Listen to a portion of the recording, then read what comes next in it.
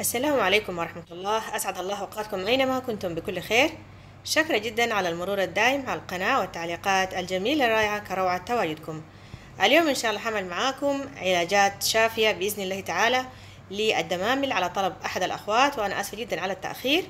لكن قبل ما نبدأ في الفيديو إذا ما مشتركين في القناة أتمنى الاشتراك وتفعيل الجرس علشان يصلكم كل ما هو جديد.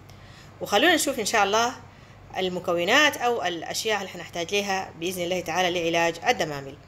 في البداية خلونا أوريكم إنه الدمامل هي طبعا معروفة يعني بأن هي خراج بيوجد في بعض أجزاء الجسم مثل الإبط والأرداف أو تحت أو في الرقبة. بتكون في شكل نتوءات بيتكون فيها صديد ومرات بتكون فيها احمرار أو لون بيكون زهري. خلاص؟ مرات بعض يعني في بعض الأحيان حتى لما يخرج الدمل أو الخراج بيرجع مرة ثانية لكن بإذن الله تعالى مع الوصفات اللي حقولها لكم دي حننتهي منه نهائيا بإذن الله تعالى. وخلونا نشوف حنحتاج لشنو. في البداية حنحتاج للحلبه طبعا الحلبة معروفة من قديم الزمان في علاج للخراج والدمامل اللي هي حتستخدمي فيها الحلبة كمطحون. الحلبة طبعا معروف في كل الدول هي دي.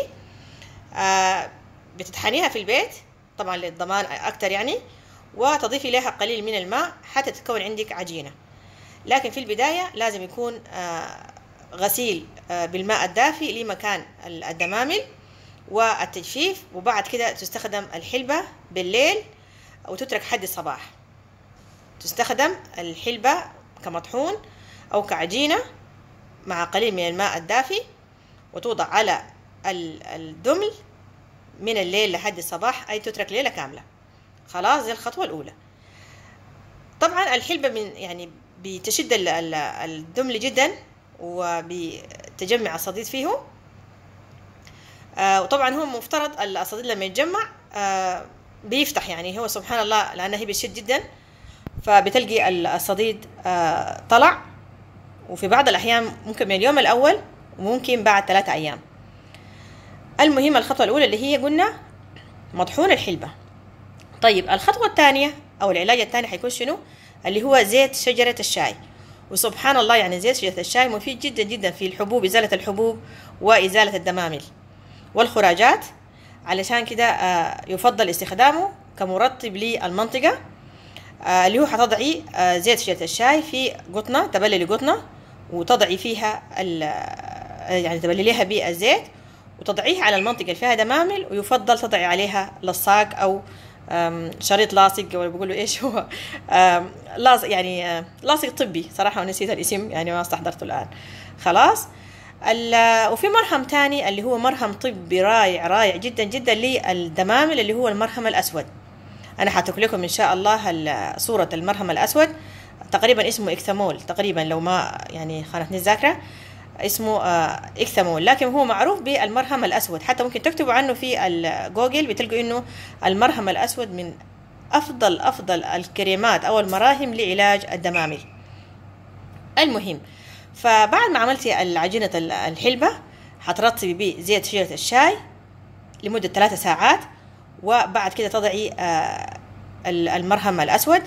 المرهم الأسود ضروري جدا برضو كمان تضعي عليه لاصق لأنه بي لونه أسود هو من الداخل فبيوسخ يعني الملابس وكذا فما فيفضل إنه تضعي عليه كمان لاصق. من ضمن الحاجات المهمة جدا حتى لو الخراج أو الدمامل اتفتحت لازم تواصلي في العلاجات دي على الأقل لمدة عشرة أيام. حتى إنه ما ترجع مرة ثانية وتواصلي في طبعا من أهم الأشياء الضرورية غسيل اليدين كويس جدا قبل وبعد نظافة الدمامل حتى إنه ما تلتهب المناطق الثانية بالخراج أو بالدمل أو حتى لما بعد يفتح كمان برضو لازم تنظف المكان كويس جدا وتضعي زيت شجرة الشاي فقط يعني يمكن الاستغناء عن بعد ما يفتح الدمل. تستغني عن الأشياء الثانية تستخدمي فقط يا إما زيت شجره الشاي يا إما المرهم الأسود. واللي ما بيتوفر عنده زيت شجره الشاي ممكن يستخدم المرهم الأسود براه كافي جدا. وده كان الفيديو لليوم. أتمنى بإذن الله تعالى يعني يجيب معاكم نتائج مرضية وربنا يرسل فيه الشفاء بإذن الله تعالى. أشوفكم إن شاء الله في فيديو تاني. والسلام عليكم ورحمة الله.